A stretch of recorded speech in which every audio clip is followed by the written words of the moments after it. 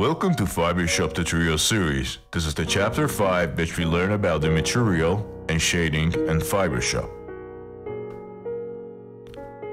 A material is responsible for shading the hay fibers and the viewport and baking. It defines how much shiny or rough or hair must be and how it should react to the light and physical terms. FiberShop has two different material systems. One is used for preview inside the viewport and the other one is designed for the final result in the third-party software. In this chapter, you will only learn about the preview materials. In the next chapter, we take a detailed look at baking and its material system. To access the viewport material properties, simply head to Material tab and Project Settings and open Fiber Material Design tab Rollout. Before taking a look at material properties, we define some pre-configured materials for you. You can quickly set the look of your fibers using these presets. It has different styles like brown, red, blonde, and black that you can use for your fibers.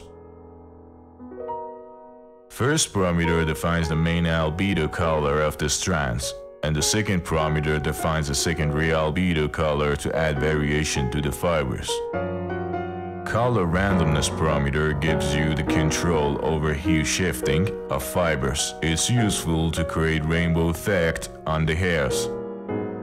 Root and tip tint color parameters let you to tint the albedo color from the root to the tip.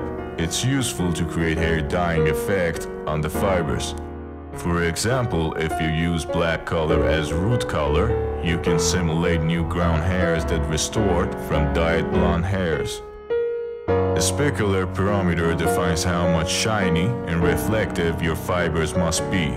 This parameter is useful to create oiled or highlighted hair fibers. Roughness parameter defines how rough fibers must be in the terms of physical reflection. 0 is the most rough value a fiber can be and 1 is the sharpest value a fiber can get. Be careful to set this parameter correctly because it may affect your judgment on albedo color. Background color parameter has nothing to do with the material. It simply sets the background color of hair blocks. Strands normal parameter is a very important parameter which switches the fiber rendering mode between flat and tube. If you want to have a very sharp, flat and a straight fiber, you may want to use flat mode.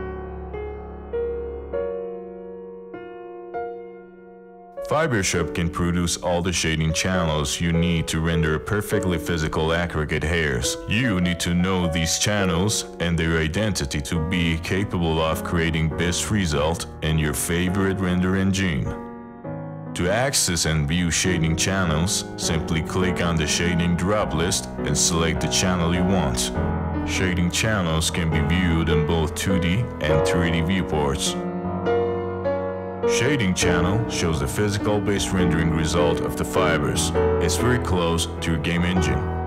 Root tip channel shows the grayscale range from the root to the tip. Strand ID channel shows the random IDs assigned to each fiber strand.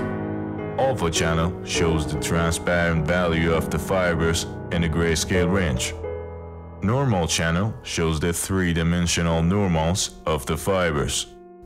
Height channel shows the depth of the fibers in the grayscale range. Direction channel shows the direction of fibers in an RGB range. Translucency channel shows the thickness of the fibers in a grayscale range. Ambient channel shows the ambient occlusion of the fibers which can be used to simulate contact shadows on the hairs to make them look more natural. Know that you know all the channels you're ready to learn about baking. See you in the next chapter.